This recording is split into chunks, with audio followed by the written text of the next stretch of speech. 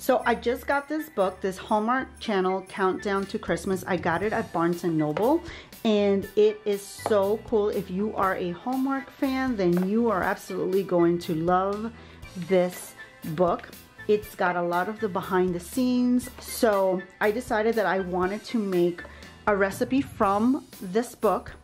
Each Saturday night, I'm going to be posting a new recipe from the book throughout the month of December while I'm doing Vlogmas. And this is another really cool thing that I found in the book. It has movie bingo, so it's a watch and play. For example, um, if you see a charming local cafe, you put a uh, chip on there and that's how you play. It's got a ton of different little, you know, things that you would normally see in any Hallmark movie. So the book is fantastic. And today what we're gonna make is Jodie Sweetin's peanut butter kiss cookies. I hope you guys enjoy and get you in the Christmas spirit. So first things first, I am not a baker whatsoever, but my daughter loves to bake and she does it all the time. So we decided to do it together.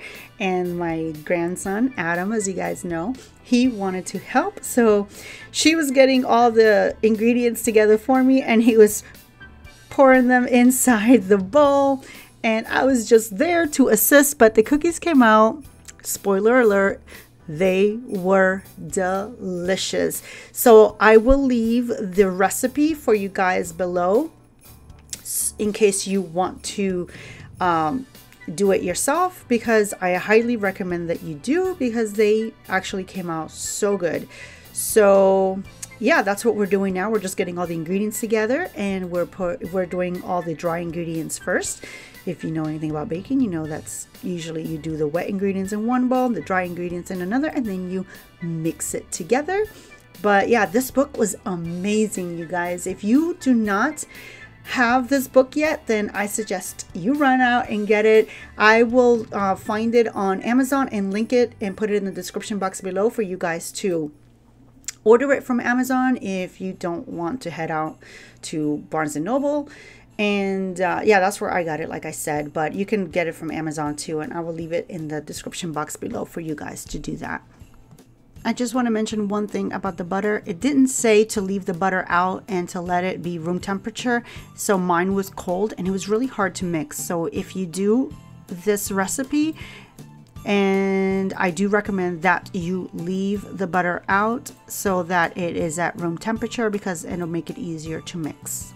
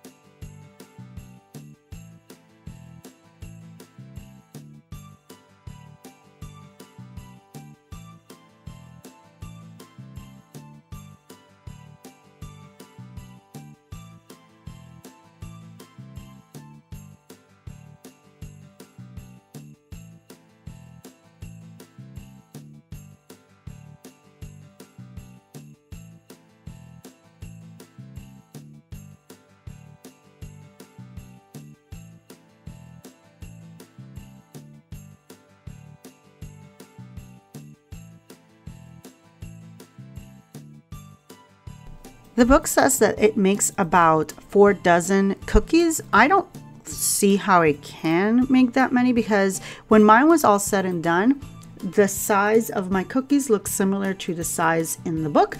So, and mine made about 24 cookies, and that was me uh, using, you know, rolling them up uh, a fair size. You know, it was not too big, not too small. I thought they were perfect. And you will see in a minute that they came out just like the book.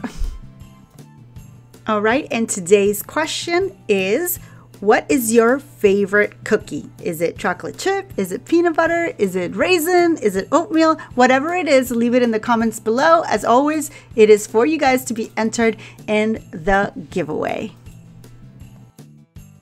that is it for today's video. I hope you guys enjoyed the video and that you are running out and making this recipe because the cookies are so delicious.